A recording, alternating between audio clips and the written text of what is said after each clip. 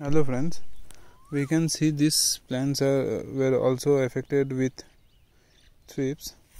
We can see the lines out here these verticals these vertical lines these lines. And we can also see this this brown color cut on this plant is also a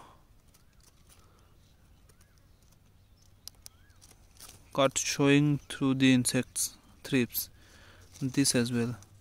This underneath the vein. These were severely affected.